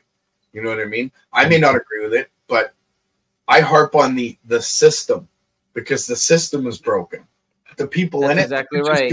think are right, right? You know, so That's exactly yeah. right. When you hear me harp on academia, it's on the system. It's not on the people. just, yeah. just right, oh yeah, no, this this is your the, the this is sitting on the magnets, right, and uh, mm-hmm. levitates it up as you connect each circuit. All right, Joe, it's all you, buddy. play. So what is what it's what what is this a similar weave to what you were using in your main coil, or is this a, a different it's just a this is a different weave. It's a different weave and it's a lot less. Uh, let's mm. see. This one's 12 feet on either side bifilar. So it's 24 feet in total. That's it. And it's made with uh, 30 gauge, I think, or 32. I can't remember. It's almost almost as thin as a human hair. Right. Very hard to wind. When you pull on it, it breaks. So it's it was very difficult. But the basic principle is still the same. And the winding sequence was slightly different than you see in that big coil. So what exactly is going on here? um I'm pulsing my primary. I can't remember how much. I think it was a thousand hertz on that one. What we have here is two modified Joule Thieves, both being using this 12 volt battery, which, as you can see, is fairly dead. We have a function generator pulsing at 1000 hertz, 10% duty cycle square wave. Both channels are going to pulse at the exact same pulse rate. And the first channel is going into the primary, and the second channel is going into the secondary. And what we're going to attempt is to see if we can raise this coil not once, but twice. Now, when you send a signal against or at each other, usually it cancels out. So let's see. The primary is turning on in three, two, one. Now we're going to turn the secondary on in three, two, one. As you can see, the signal didn't cancel out. All right, everybody, you have a great day.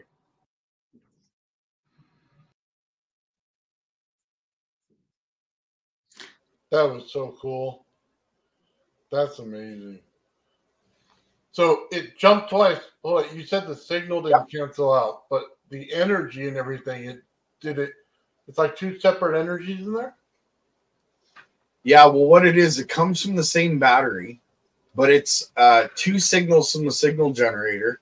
Because the coil is wrapped 180 degrees out of phase, uh, I pulsed the primary with a thousand hertz uh, I think it was 10% duty cycle. I can't remember. And then uh, I did the exact same pulse frequency on the secondary right at each other. So normally in a system like a solenoid, if you were to pulse a signal at each other, it just cancels each other out. And what do you get? Maybe a bit of a field or something. I'm, I'm not even sure. But mine doesn't cancel out when I pulse uh, my primary and then I pulse my secondary at each other, it multiplies.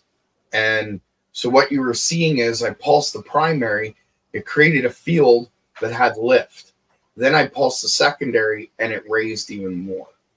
So that's what was going on there. And is that is that just um, sending the opposite polar magnetism to the magnet face, and that's what's forcing it up? Is it repulsion? I would say it's repulsion. Uh, whether or not it's a magnetic current that's pushing it up is debatable because when I pulse those coils, I lose magnetism after 20 hertz, at least evident magnetism. That doesn't mean that there isn't a magnetic field there, but uh, a magnet isn't affected by it when it reaches above 20 hertz. It'll polarize and then it just sits there. It doesn't turn, it doesn't hum, nothing. But if I turn the hertz down to like say 20 and below, I can make it uh, turn on its axis, or I can make it turn uh, the other way. I can't remember the, the term I was using for. I was explaining this to Jeremiah Pop, and he had seen it on video as well. Uh, I just can't remember. It's like when you have North Pole and the South Pole, it's not supposed to be able to turn this way, right? Well, the coil does that. It'll also turn on its pole, but uh, it'll only turn on its pole 20 hertz and below. When it spins like this on its axis, I can get to maybe maybe 85 hertz tops and then it stops. And then it's just power output from there and a and a high pitched squeal or sound that comes out of the coil, right? So I'm not sure, excuse me, if it's a magnetic field pushing off or if it's a scalar field pushing off because the power is so minimal. It, it, it's just on on the watt meter sometimes it doesn't even show up and i'm not sure if that's the same video or not i'm not even using the 12 volt battery i'm just using the signal generator. So if if i'm just using the signal generator it shouldn't be lifting at all. There's not enough power to create a magnetic field at all right? So there's obviously something else going on there. Uh still working on what? I have some ideas though. Yeah.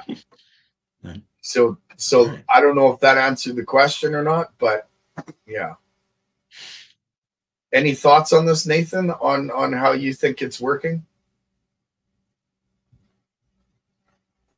Sorry, give me one second. I was over there looking something up for you. Um, oh, I apologize. it's okay.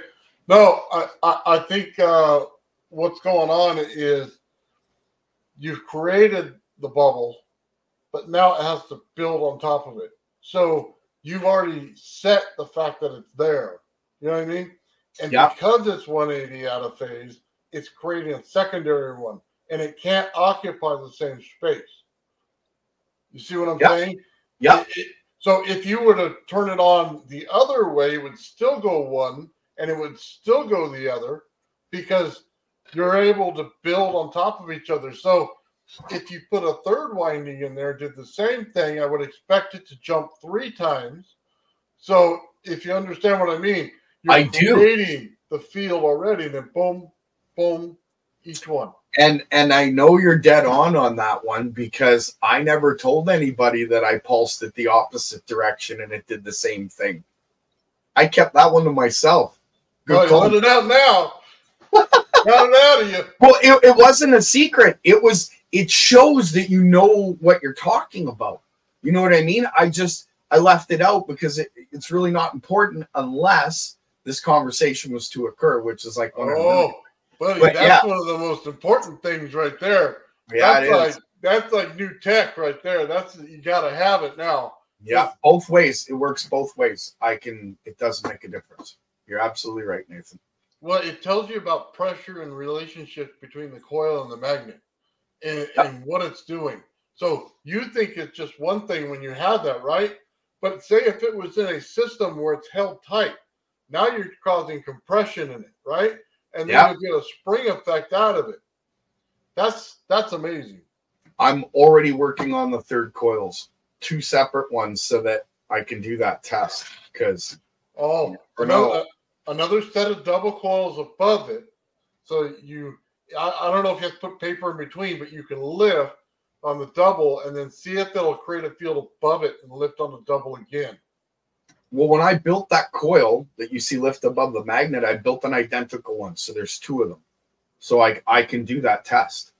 It's that's that'd awesome. Be, that'd be truly interesting because it kind of tells you a lot more about what's going on too. Because the magnet's not under it this time, but the wire is a magnetic field. So will it continue to do it?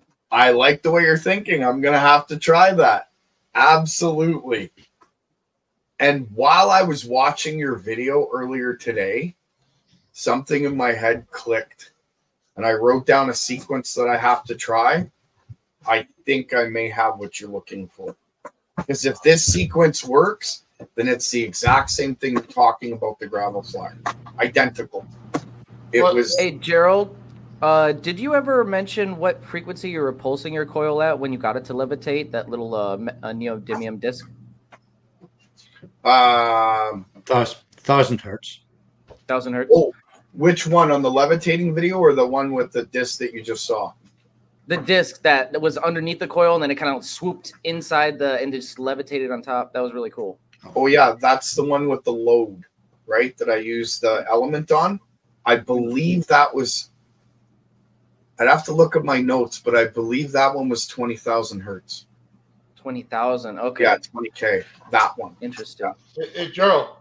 Yep. One quick thing, last thing on that that little coil. Okay. Mm-hmm. I'm interested to see because it's not a magnet if it jumps off. Okay.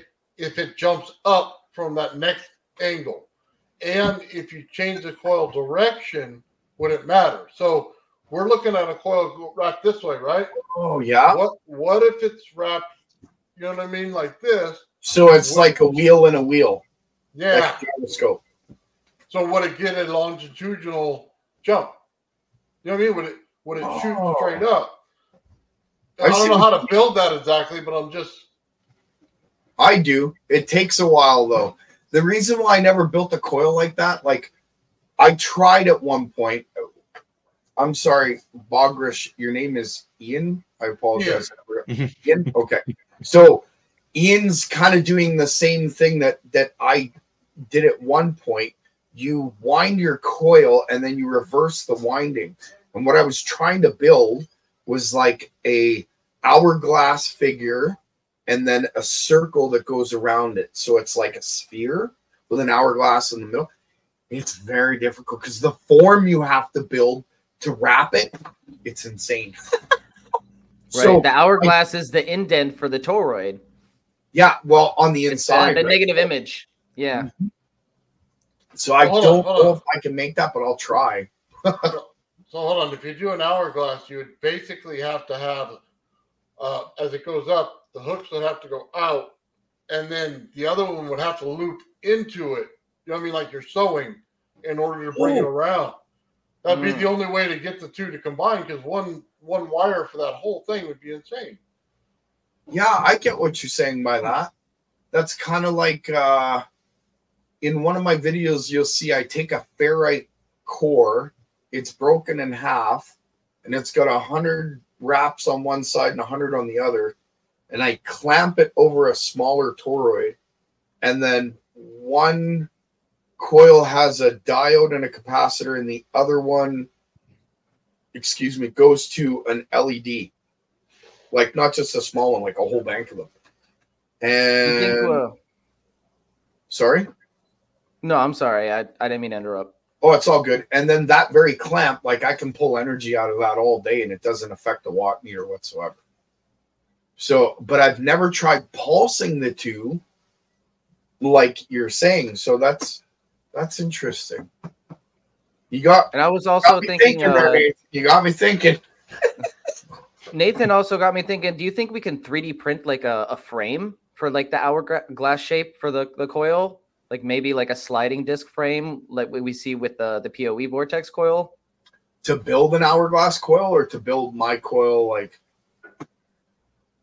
To easily wrap the coil in an hourglass shape instead of a torus shape like we see with Yeah. the PoE coil to, Oh, to yeah, you want wrap it in an hourglass shape. Yeah, like a frame to make it to make it evenly spaced It has to be a triple. It has to be a triple frame. You'd have to have a plate up above. You'd have to have a mm. plate down below, and then you'd have to have a plate in the middle with a hole that you could wind your copper through, and your number sequence wouldn't go in a circle. Say you go mm. one, three, five, seven. It would go one through the hole to three, through the hole to five, through the hole to seven, and it would be consistently like that. So your pinch would be like a kind of like a hard twist, but at the same hmm. time, mm. all the upper part would come out and it would form a geometrical form up above, and it would form a geometrical uh, form below. But your your huh. copper on the inside of that hole on your center plate would be like a, a compressed twist. I built one half done prior and I I chucked it because I didn't have patience to finish it. Well, what was your method for building it? Did you have like a frame or did you uh, wind it around something? What I did is I had uh, three pieces of uh, I think it was quarter inch plywood, and then I had the form on the top, but I had a big hole that was right around where I had the nails put in, and then I had a a middle plate with a smaller hole, and then I had a bottom plate with the nails, but it also had a big hole in it. So I was, oh, and to hold it all together, I was using um, threaded bolts with nuts that held each plate in place. So it, it was kind of like a scaffolding, right? Mm. So it looked like this big three plated, huge monstrosity. It was very difficult to wind, but it is possible. Huh. Yeah. I could build something similar to show you, but it might take me a couple days. just just to yeah, build no, the form, right? So that yeah, that sounds very complicated. a little bit, a little bit. It'd be easier for you to take uh, a quarter inch or a half inch copper tubing. You know how it spirals, so you pull it apart, and then you would uh, take bolts, and you would bolt bolts around it into a board, and then you would fit that copper tubing around that, and you would wind around the copper tubing. It would be a lot easier. In fact, I bring that up because that's the one I've almost completed. And that one's for I'm going to attempt to heat water while pulsing the toroid coil because it's the copper tubing is wrapped within the the geometrical coil itself. Oh, hold on, hold on. Ian's got something like that. Give me a second. I'll pull oh. it up for you. See, I was wondering if you had more coils than just that one. Oh, he does. Oh, I like this. Now you get me all happy. I love seeing geometrical coils. They're the best. I'm so hold on. You're talking no, about was... inner coil. So let's pull that up. So there's the oh. inner. Nice. Oh yeah, I was going to I was going to cook my dinner on that. Yeah. Yeah. no, that's that's um that's a tune. That's a that's a primary coil for the there's a pancake uh, bifilar coil underneath it, and I was using that just to keep it all flat. Just so it's for the graviflyer, basically trying to. I mean, I'm, I could be, you know, completely in the wrong direction, but I'm trying to use the ZVS impulsing into. Oh, question: Why? Let's see, where are they? every time I remove the uh, every time I remove the capacitors, these both sides of it short out. And it, is that because I'm blowing something? I'm not a ZVS guy yet. I've right. never had it short out when I remove the capacitors. How are you removing them? Just just soldering them out? Just yeah, just soldering them out. And uh unless but I, they're they're nowhere near the components that I've, I've, I can't think why I'd be blowing the MOSFETs with the heat, but anyway, it's it had it's not just once; it's it's happened twice. so I cut everything out around it to make sure that there wasn't any shorting or anything going on. And uh, and this was a new one I got yesterday, and I took them out and it shorted immediately. Totally bizarre. Did, anyway. did you did you run it without the new capacitor put in it? Nope. There's no point because I know it's just going to it'll just go straight to 10 amps out of the power supply and uh, and it'll do nothing. But I do have I have another smaller one which I've used it to tune the coil anyway. So until what, what's the capacitors that you're that. that you're adding to it? Oh, these. Well, I'm. That's um. Uh, tuning tuning board I made. So it's a six six kilovolt. So it um between that uh,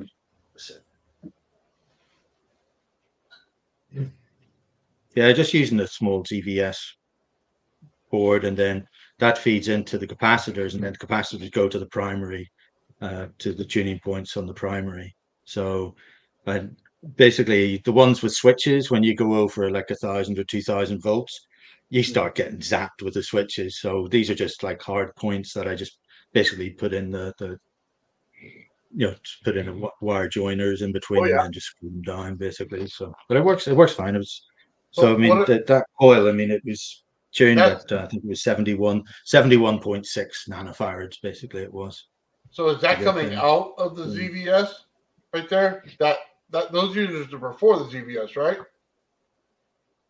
No, those the, that's the that's to replace the capacitors that were on the ZVS. I got rid of those on on that one oh, just okay, as a okay. stopgap, and then and then that's a tuning capacitor bank, so I can get to the exact best tuning for the coil pair. That's probably what's doing it, because we're just using two capacitors, right, at 0.150 uh, nanofarad. So together in series, we're getting 0.075 nanofarads in the capacitance, but it's not variable. So it's a direct shot. So it doesn't have any feedback. My thought is with that variable, you may have feedback. And as soon as you get feedback on the ZVS where it's not protected, it blows it. Yeah. Right. But it's not, it's, it's, I've, I never, I never actually was able to do anything with this. I haven't even tried it. I just know that those posts, the posts are shorting out, so it's not going to work and that's just from removing the capacitors that were on. I haven't even connected it to the coils or anything. So the, the capacitors, the tuning, the tuning bank is basically, um, uh, I mean, they're they're polypropylene, so they should they're fast switching and all the rest of it. And then the more capacitors you have to do the same thing, it it um, the ESR goes down as well, so you get a, a better flow through it as well. So did you but, short? Uh, but only the ones only the ones that are actually connected are actually active in it. Did you short the capacitors before you unsoldered them? Because I wonder if they tested it at the factory and they it had a charge. So when you went to unsolder it, it shorted them out. Ah, quite possibly. But have you have you ever had to do that, Nathan? With your uh, I didn't have any problems with mine. I put a screwdriver, a flathead screwdriver, in between the capacitor and the board, and I hit the solder on the back and pop each side one at a time. I never put it on a flat plate or anything like that, a hot plate. I can yep. have Sean mm-hmm. get with you this right here. Sean, absolute expert on this. Walk me through everything. Trust me. So he'll he'll explain it. Yeah, because that way we can stop blowing these things up and get you on to the next level. So I'll put you in direct contact with Sean, and I'm sure. Oh yeah, that'd be great for sure. Yeah, he's got yeah. some awesome, yeah, no, awesome coil stuff. Sorry, go ahead, Don. Yeah. No, I was just going to show. I've, I literally just wind these just to go above and below. I don't know. I mean, in the Graviflyer, I mean, it, again, I'm just trying to work with the same principles that are already out there. But um, I was trying to using Evo circuits where I can actually uh, impulse these coils. And I went down a, a very long conversation with ChatGPT about the coil winding directions, the field directions, and to, just to get everything congruent going through from top to bottom and uh, and even the, the, the orientation of the magnet bowls I was using. It's like uh, mm-hmm. those prim- primer bowls. I made a few of those north yep. and south. Oh yeah. Uh, but basically, those there was with the ribbon coils I used, there was too much interaction between the coils. They they were feeding into each other all over the place. But that's because I was using um, a different. I was using a different uh, pulsing. I wasn't using a ZVS but that's why I wanted to make this center coil here, which is uh, the pancake. Basically, I had to use neodymium magnets to hold it together, the former together, to, to stop it from doing too many multiple winds on each uh, each surface. But uh, I'd actually, interestingly enough, I don't know, Sean might be able to answer this. They, when I had the neo magnets on it, holding it the former together, um, the resonant. I was waiting for the uh, the epoxy to dry, and I thought I'd do some measurements on it. The coil came out at I think it was 290 kilohertz as its resonant frequency, and when I took the magnets off, it dropped to 190. So that was kind of weird. So I guess the, the magnetic fields were interacting with it in such a way that it was. Um, you'd think it would have sent it the other direction, but it uh, yeah it reduced it by a third, and that was kind of weird. Slowed the field but, down, uh, perhaps. Yeah, well, it was. Um, yeah, I mean, it was. It slowed down. It made it. It made it as if it was a bigger coil. Basically, it was uh, slowing down the, the resonant frequency. That makes sense. It's, uh, yeah, but um, but yeah, no, I've tried a few things. I mean, this this one I made just because it was a, it was a it looked like it should be something of great beauty. the PO it is, but it's it has a it has a nested coil inside it, which is I mean this it's a Rodin coil, but it's the first and third order. I made a smaller one of um, I got a Oh, can you show that at an angle? Because we can't see the coil on the center of it. Oh, there you go. Oh, well, oh, you yeah. can see you can see this one. You see now the one that's yeah. there. there yeah, is. so it's kind. Of, it's yeah. That's a big road. Also, Did you get that yeah. um, frame design from Alchemical Science? No, I did it before him, and uh, it was um, oh. um, there was a guy. There was a guy on on um, oh, what's that? What's that website that has all the? Anyway, it was it was uh, uh, Tom. Well, that was 11 years ago, I think, but uh, I, I found it about in 2019. I think I built this. And that was the first coil I made. So hmm. um, maybe Tom. This Barnett. one I made but, uh, as a Tom Barnett. That's it. Yeah, it was Tom yeah. Barnett. His his his entire kind of take on the whole Mod Nine and, and the whole sequencing was. Um, oh, that's a um, beautiful. A, somebody somebody somebody actually just somebody designed all the formers that, that you could make to make that coil, and that's that was I think why I bought the first 3D the 3D printer was because of hmm. that. So, but how difficult was that to wind that nested coil? Did you have to wind the the outer coil first and then the one? nested, or vice versa? No, yeah. the bigger one. Yeah, you've got to. Uh, the bigger one. Well, it, they're both the same principle. So uh, I put some other coils of just heavy uh, eight number eight gauge inside hmm. both of them orthogonally to them just to see if um I don't even know why I did that at the time. It just seemed like a good idea. And now I'd be able to impulse those as primaries and see how they would behave with the. Have you uh, noticed any over unity effects? Well, hello. Oh, uh, ah, hey. Loving your coil, on, Bernie. How you doing? Loving all the coils. Yeah, the coils are beautiful. Yeah, but, I love them.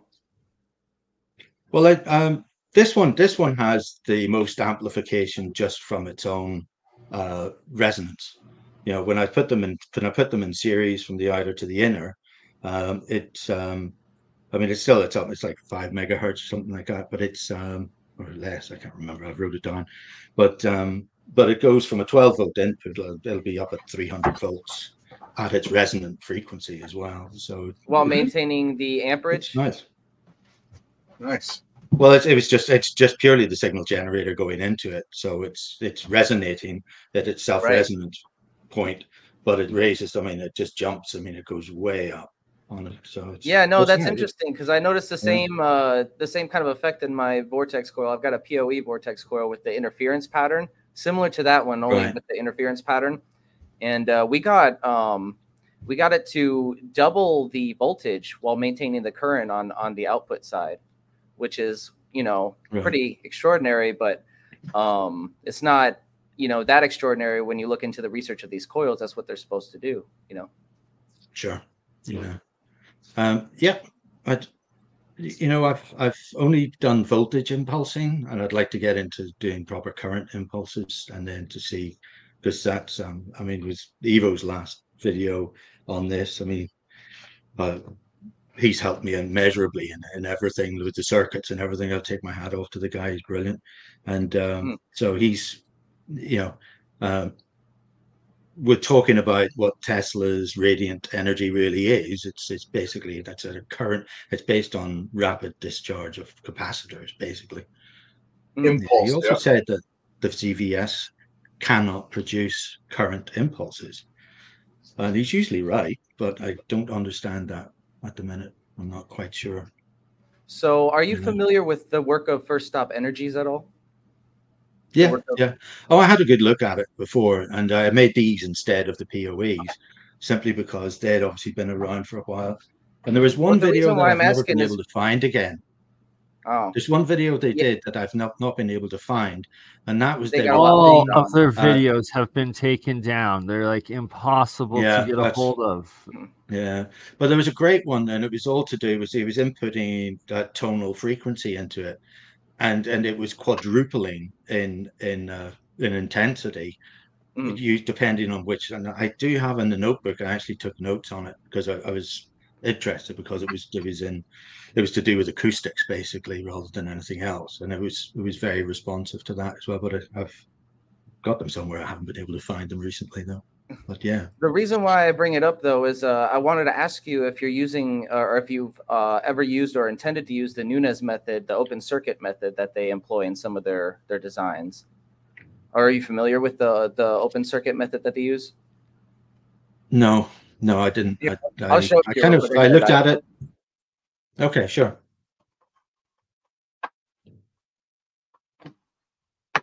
Yeah, I mean, once once I saw Gerald's coil, I thought that's the way to go. yeah, appreciate that. Yeah. I want to teach everybody, so I'm glad you're interested. That's awesome. Oh, definitely, totally, yeah. No, you're definitely going to have to be in on that class that we teach. So what's oh, I'll be there for sure. Yeah. Awesome. Okay, so 18 kilohertz. Um, okay, and, and what sort of results did they get with this? So they claim that with this open circuit method, it maximizes the resonance within these vortex coils, and they're able to 10 times the voltage output while maintaining or slightly increasing the current. Um, I've actually seen a oh. spike of energy at some of these higher frequencies. I can't actually use the the higher frequency ranges with the setup I have. I'm kind of limited, but um, because I'm using a stereo amp receiver, gen, uh, basically to input the power and the uh, the tone. Um, right. But yeah, no, it's it's an interesting method, and not a lot of people are aware of it. So uh, I tried to um, reverse engineer what they were doing because a lot of stuff got taken down, and I put a, a guide up, a do-it-yourself guide, if you're interested in the open circuit method and learning more about it. Right. No, for sure. Yeah. No, it's interesting. Yeah, because I remembered um, uh, Marco Rodin as colorful a character as he is. Uh, he did that. Uh, he had what was that? What was that guy's name? Uh, guy always wears the hat. Anyway, he he he basically did a reverse engineering pro- project for uh, Marco based on a video oh, that they had, a live presentation of stuff. What was that? Randy Powell. You know the one? He was the one who, yeah, he was yeah, the one who Randy originally Powell. transcribed VBM on and put it, uh, mapped it onto the toroid for practical uses and uh, his work is actually what we're seeing a lot of in these these coils or remnants of his right. work. Yeah, Randy Powell uh, right. followed uh, Marco Rodin for quite a while after Marco Rodin kind of yeah. fell away from. All right. No, but this this was this was a, this was a different video, and it was a presentation, like a live presentation with this guy who was in Germany or something, who had who had hmm. wired the coil in a specific way and using in a bass amplifier, and but he had but uh, I I didn't really know enough about it to understand it properly at the time, but they was using um, uh, a bunch of high voltage capacitors, and he was creating what seemed to be more, a lot more coming out than was going in, to the point hmm. where Marco Rodin actually asked. Um, it's the guy who makes the, the the model airplanes and stuff now. He has this kid called Charlie. I, I wish I could remember his name. Anyway, Uh, but he he did a lot of work in reverse engineering that, but he could not find the way that it worked and the thing. So and that all kind of went away. But it was a similar, but it was more on this design of coil, the, you know, the, the, hmm. the continuous spiral, rather than the cross weave that the uh, the, the PoE coils are. But it's hmm. interesting. I mean, I've definitely, you know. So uh, yeah, I what keep, I've I seen, getting, I keep getting distracted down rabbit holes, and then I don't quite finish this one, and then I'll move on to this, or I don't experiment enough with this one, and then I think, ooh, that looks really interesting. I think I'll go there. But uh, but that's what I've done with your coil, Gerald. It's like I'm really fascinated by it because it's it's great. I mean, the fact that you've got that geometry and the rhythm all built into the coil is just awesome. Really good. Yeah. Yeah. so uses- first up, energy was uh actually using the coil that you use without the interference pattern, the design without the interference pattern to um drive rotaries more efficiently. And they were doing testing with that versus the interference pattern. They found that was the more efficient one to generate the magnetic field to to um drive the magnetic rotary and they had i have uh, videos on my channel um, of uh, clips that i found on you can actually go on their instagram. The instagram is the one thing that they have left uh, a lot of video clips of uh, their experiments and stuff is it's still up there um, where they're driving a bunch of different rotaries with different um, sizes of these coils and it's really impressive.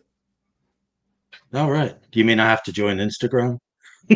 Oh no no no. I honestly i I, I uh, feel you on that, but uh, no, you, you don't have to join just to look at their their videos. You can just go to oh, okay, Stop okay, Energies good. Instagram, yeah, and you can see a lot. Oh, right, of, uh, okay, so it's just, they're still around then. Well, that's good. Okay, yeah, no, we will do for sure. One Stop yeah. Energies, that's the Nunez couple, correct? The Nunez, yeah. yes. The, the yeah. couple, we don't know what happened to them. They they stopped communications late in 2022, early 2023. So uh, they kind of dropped off of the the all their social media platforms went went silent. So, but in terms of the information that that's still left, um, their YouTube videos got pulled down. They had hundreds, but uh, um, yep. you can go to Instagram and find some of the remnants of that.